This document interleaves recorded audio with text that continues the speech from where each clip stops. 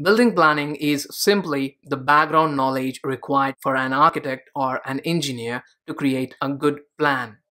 It is also referred as building designing in so many countries. In the process of building planning, you divide an area of site into different rooms. Now, we need different rooms in a building so that we can perform different activities in it.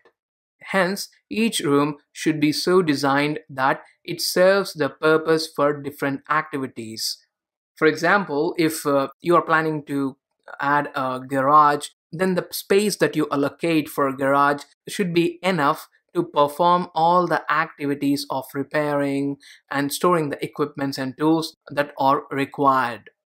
Apart from that, as an engineer or an architect, it's your responsibility to provide natural features like sanitation, privacy, safety, and aesthetically good appearance for a building. However, building planning greatly depends on the shape and size of the site.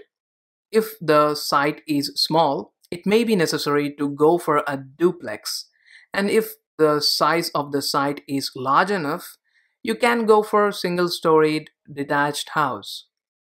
The process of planning is greatly influenced by the type of building that the owner wants to build. It may be residential, commercial, or industrial.